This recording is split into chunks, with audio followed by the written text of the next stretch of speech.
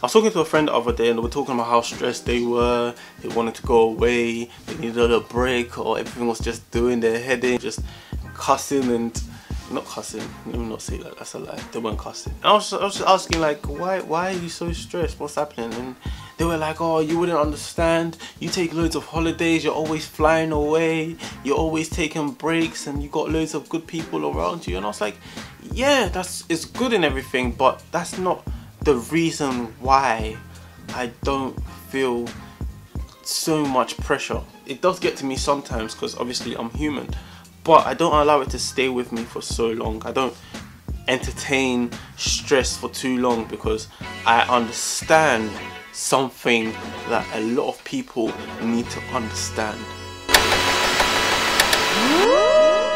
So I took a holiday a couple of weeks ago with my my family. Um, it was it was fantastic. It was great. I will leave um, a little uh, montage of the holiday um, after this video. It was just really nice to take a break and just clear your head and you know have some time where you could just concentrate on you and your family. But to make the speculation that that was the reason why I have a lot of peace is false. Someone once told me that if you allow people to be the ones that make you happy, it means that people are going to be the ones that make you sad. But a lot of people, just come in, just come in.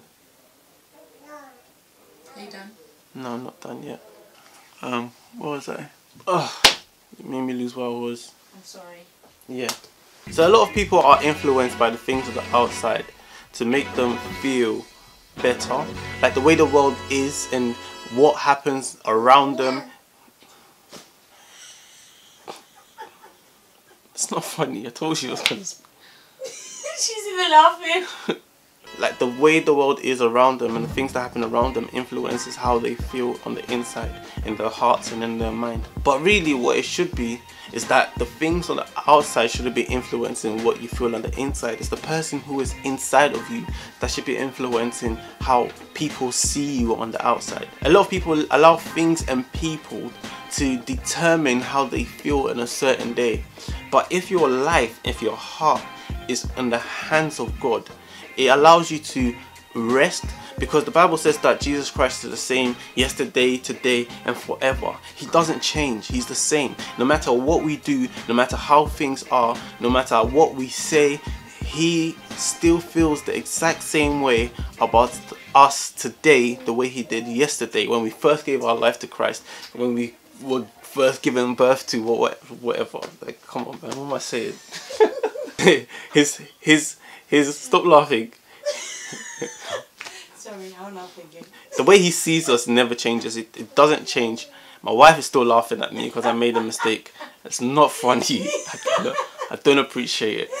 Sorry.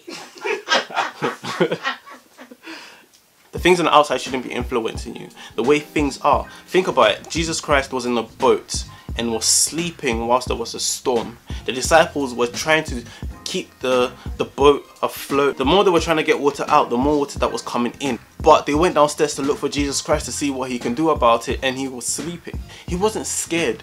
He knew that the destiny that God had for him wasn't going to end there. In the same way, when we have that same mentality and we know that God has called us to greatness, we don't walk around in fear, we don't walk around stressed because we know that our life is in the hands of God. And it's one thing that we say all the time that I've given my life to Christ, I've given my life to Christ, but we really want things in our own hands. When you've given your life to Christ, it means that everything in your life is in His hands and you're able to leave it for Him. When you have that mentality, you understand that Jesus Christ is in control of everything. No matter what good thing happens around me, no matter how bad it looks around me, Jesus Christ is the one that is in control of my life. Though I walk through the valley of the shadow of death, I will fear no evil, for you are with me. He understood that Jesus Christ, the one who's in charge of everything, in charge of the whole world, has his life in his hands. Having Christ on his side was what gave him peace of mind. Don't let things around you determine your peace.